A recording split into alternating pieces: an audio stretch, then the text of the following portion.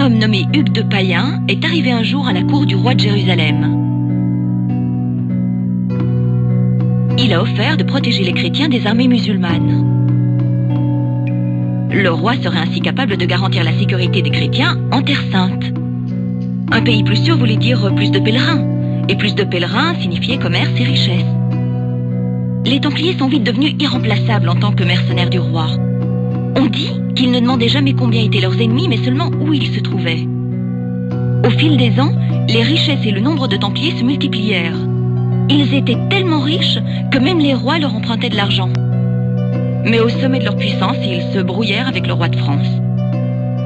Il les fit arrêter et les livra à l'Inquisition. L'homme responsable de leur chute était le roi Philippe IV. Bien sûr, sous la torture, on aurait pu leur faire avouer n'importe quoi.